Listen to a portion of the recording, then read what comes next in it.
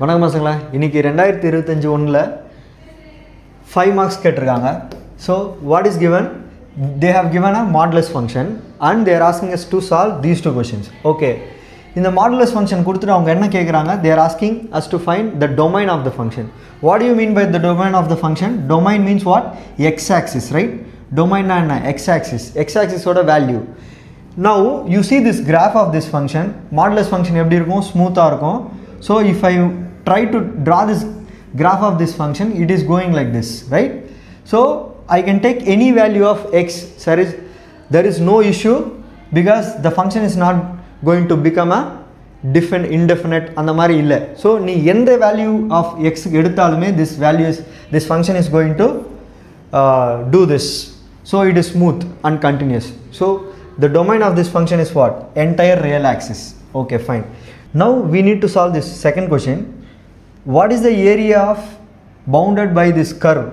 What is the curve? This curve and y is equal to 3 these are the this is the second question they are asking us to solve.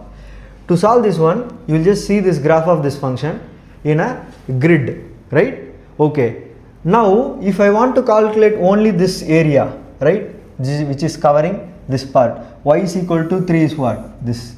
Y is equal this is 1 this is 2 this is 3 so this is y is equal to 3 the green line. Okay. If i want to find this area what is the area in general what is the area of let us assume that what is the area of this uh, this grid this area is 1 okay. Now let's say that what is the total area? If if i want to find this total area i have to calculate 1 2 3 4 5 6 there are 6 grids and i have 1 2 3 so 6 6 into 3 that is 18 now you see this area we have we are taking off.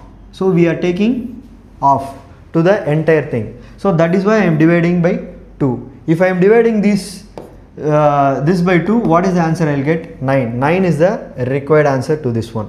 Is that clear? Please understand the graph of this function properly. Without using the integration also you can solve this. This is the simplest way to solve. Is that clear? Thank you